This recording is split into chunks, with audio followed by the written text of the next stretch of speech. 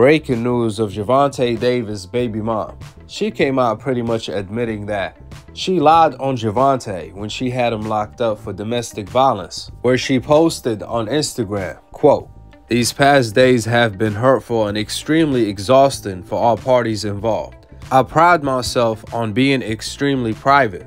This situation was the last thing I wanted to be made public. The state of our relationship has been in a fragile space, and Gervonta and I were both at fault for the argument.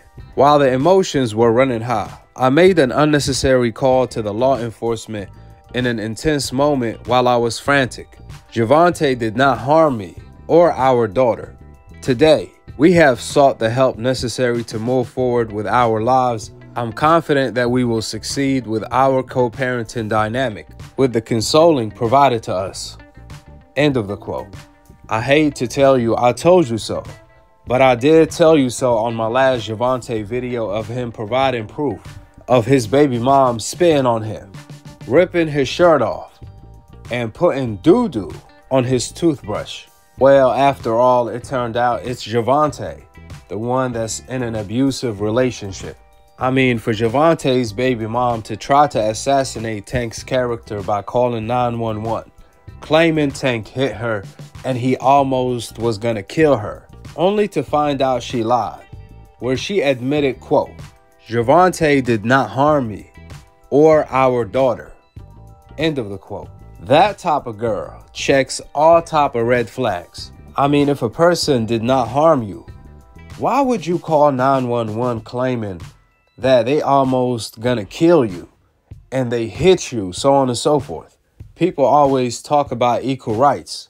Well, Tank got locked up for something that he didn't even do. So, in an equal right world, shouldn't Tank's baby mom get locked up for something she actually did do? What does it really mean to be equal? That's a rhetorical question, obviously.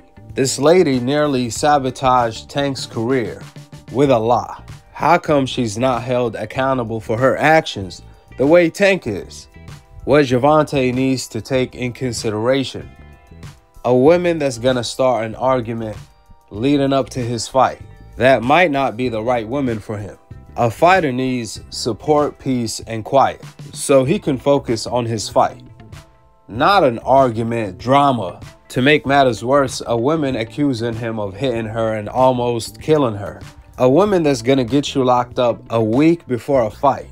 Better yet, a woman that got him locked up with a lie for something he did not even do. Tank has a lot to think through. With that being stated, drop your thoughts in the comment section below subscribe below, and click on the notification bell to be continued on the next episode of Akhi, Aki, Ak TV. Peace. Wa alaikum assalam wa rahmatullahi wa barakatuh.